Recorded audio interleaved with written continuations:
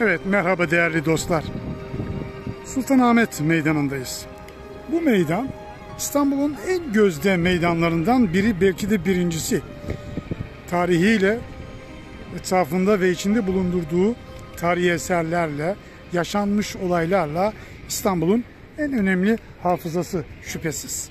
Şimdi burada bizim size aktarmak istediğimiz husus şu. Burası İstanbul'un bir numarası ya da sıfır noktası diyebiliriz. Tüm tarihi olaylar burada olmuş diyebiliriz. Bizans'tan, Osmanlı'dan, Türkiye Cumhuriyeti dönemine kadar yüzlerce hatta binlerce yıl bu alan hareketli. Tabii doğal olarak da burada pek çok eserler inşa edilmiş. Bizim burada aktarmak istediğimiz husus buradaki çok önemli eserlerin yanında bazı gözden kaçan eserler var. Ya da dikkate almadığımız eserler var. Evet değerli dostlar, Gözden Kaçanlar adlı serimizde bugün ilginç bir mimari eser inceleyeceğiz. Bu gözden kaçan eser nerede? Hemen tarif edelim.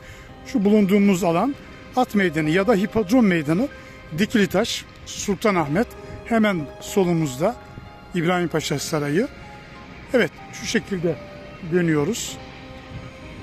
Ve yolun kenarında sağda kimsenin görmediği, göz ardı edilen bir evet çeşme. Bakar mısınız?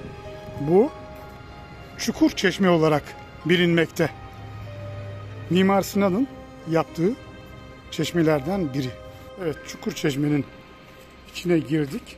Arnavut kaldırımlı bir rampadan aşağı iniliyor. Oldukça zeminden düşük bir çeşme burası.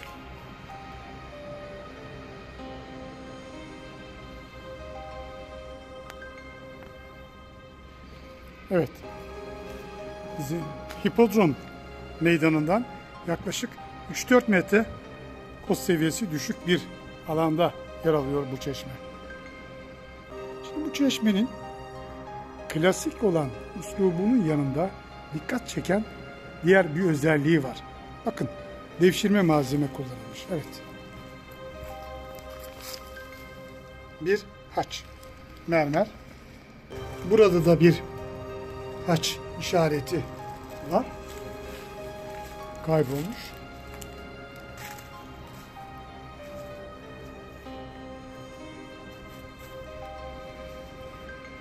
Burada da aynı şekilde. Bakın.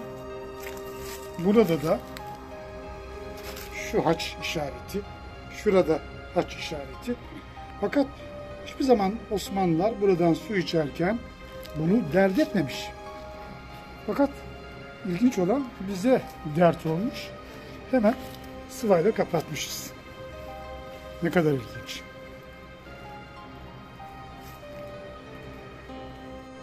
Evet çeşmenin bulunduğu alandan zemine doğru bakalım. Evet. Şimdi Çukur Çeşme'ye Hipodrom Meydanı'ndan bir bakalım isterseniz. Bakın oldukça koz seviyesi düşük bir yerde çeşme yapılmış. Peki neden böyle bir uygulamaya ihtiyaç duyulmuş? İstanbul'da birkaç tane çukur çeşme var. Bunlardan en eskisi ve bilinenlerden birisi burası. Bunun e, koç seviyesinin çok altta olmasının sebebi su maksimi olmadığı için suyu tekrar yükseltme imkanı burada olunmadığı için suyu bu seviyede vermiştir. Evet kesme köfeki taşından yapılmış. Yan bölümleri ve üst kısmı molos taştan yapılmış. Muhtemelen şurası kitabe bölümüydü ama kitabe dökülmüş. Az evvel söylediğim gibi çeşmeye meydandan şuradan Arnavut kaldırımlı bir yoldan giriliyor ve dört kemerli çeşme insanlara hizmet veriyor. İbrahim Paşa Sarayı hemen şurada aşağıda Çukur Çeşme.